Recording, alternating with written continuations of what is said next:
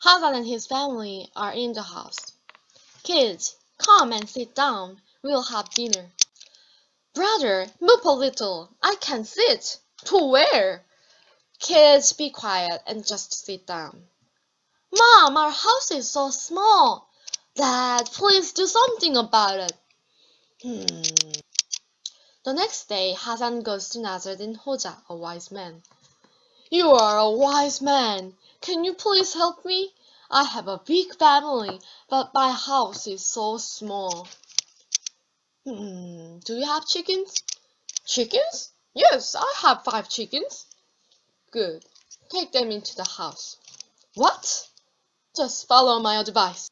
The next morning, Hassan and his wife run to Nasruddin's house. It's terrible now. Me, my wife, four kids, and five chickens. Do you have other animals? Well, we have two donkeys and three goats. Take all into the house. But, okay, I'll do that.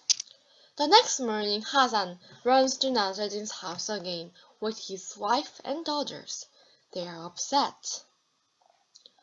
Our house is full. We can't sleep. We can't even sit. Good. Now, take all the animals out of the house.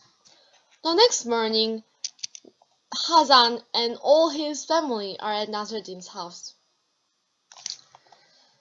Nasruddin, you are really a wise man. Now our house is very large. Now everybody is happy. Yes, thank you so much. Nasruddin just smiles. 네, 여기까지 하겠습니다. 수행평가 연습 잘 해보세요. I'll see you later. Goodbye.